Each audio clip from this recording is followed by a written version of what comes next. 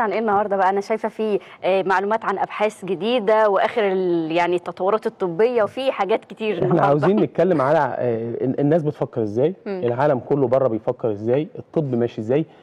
دايما بك- بكرر يا رنا إن الناس قاعدة بتفكر يا رب إحنا نبقى زيهم يعني ونفكر زيهم في كل التفاصيل. مفيش حاجة بتظهر جديدة. إلا لما بيكونوا هم على طول مباشرة بيعملوا أبحاث يشوفوا إيه مدى جدوى الحاجة دي. حتى الحاجات اللي إحنا في مجتمعنا لحد النهارده شايفينها بسيطة هم بيهتموا بيها جدا. مم. من ضمن الحاجات المهمة قوي هو آه، الدهون على الكبد آه. أو الكبد الدهني. هم عملوا أبحاث إيه ال- اللي ممكن يحصل. في ناس كتير جدا بتقول لك أنا ما باكلش كتير. أنا بمجرد باكل أكلة دهنية مرة واحدة مم. في الأسبوع. مم. طيب هم عملوا بحث هل فكرة الأكل مرة واحدة دي وجبة دهنية. هتأثر ولا لأ؟ آه. لأن إحنا هنا مثلا في مجتمعنا بنشوف إن إحنا ماشيين كويس قوي طول الأسبوع ونيجي مثلا في في, آخر يوم كده الأسبوع بقى ندي فيه كل حاجة. ناكل بقى محشي آه. وكوارع وأكل إيه آه، فيه دهون كتير. آه، الكبد الدهني بيزداد جدا في منتصف العمر في سن من 40 ل 50 وإحنا بنشوف الموضوع يجي الدكتور يعمل سونار على الكبد يقول له والله أنت عندك دهون على الكبد وإحنا كمصريين كلنا عندنا دهون على الكبد وما تقلقش. آه. الدهون على الكبد يا جماعة بتأثر كتير جدا جدا بتعمل التهاب للكبد وبالتالي بتعمل آه، تليف في الكبد ويمكن الفترة اللي جاية هتكون الدهون على الكبد من أكبر أسباب مشاكل الكبد الفترة اللي جاية. حاطينها سبب واحد رق- هيبقى رقم واحد. يعني الموضوع مش بيتوقف على شوية دهون على الكبد بس لأ ده بيستمر وبيكبر. بالظبط أكيد. ال- الأكلة الدهنية الواحدة لو أنت أكلت أكلة دهنية دسمة اللي بيحصل إن بتزيد ال- الدهون الثلاثية بشكل عالي جدا بتقل حساسية الإنسولين. مم.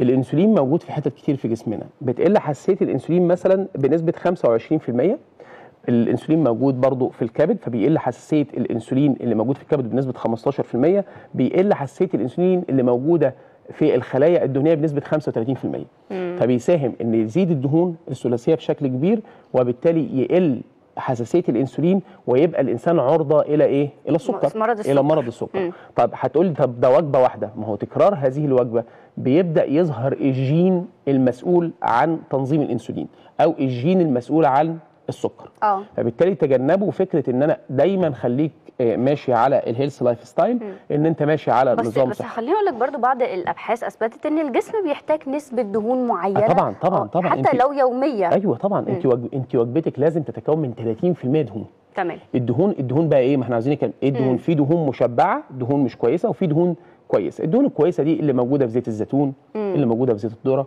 اللي موجودة في الحاجات ما فيش بقى الأكلات الموجوده الدسمه بقى في الدهون كدهون الد... لكن إحنا ما هي الد... الدهون هي- نفسها آه، دي تمام. ال- الدهون اللي موجودة في اللحوم. الدهون- تكون دهون بسيطة الكلام ده. لكن المشكلة كلها في, في ال fast food.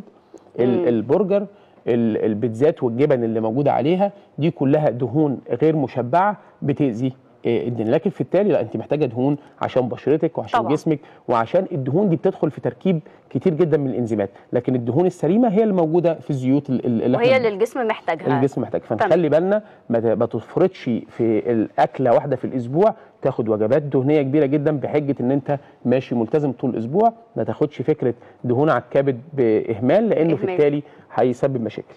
الحاجة الثانية مم.